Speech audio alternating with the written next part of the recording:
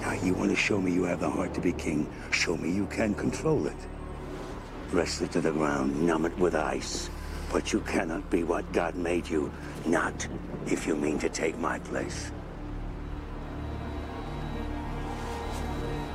Celebrate, Jack.